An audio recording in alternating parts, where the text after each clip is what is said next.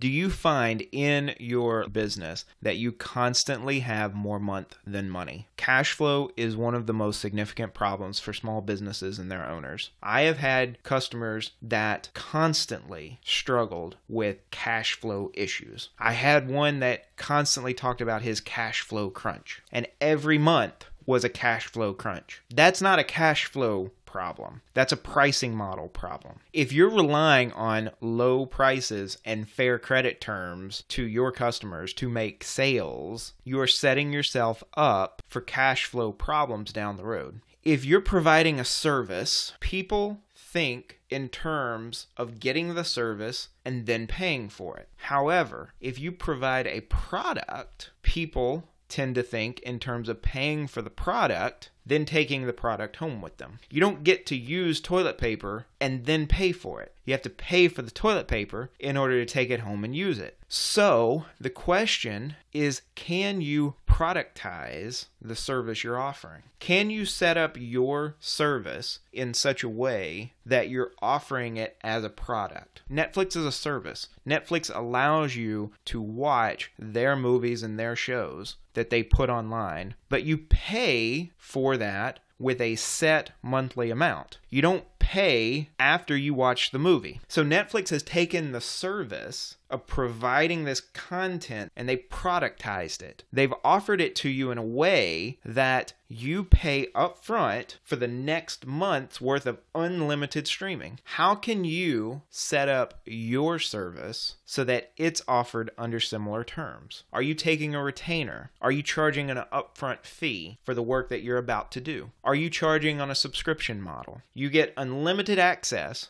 to what I can provide for a set fee up front.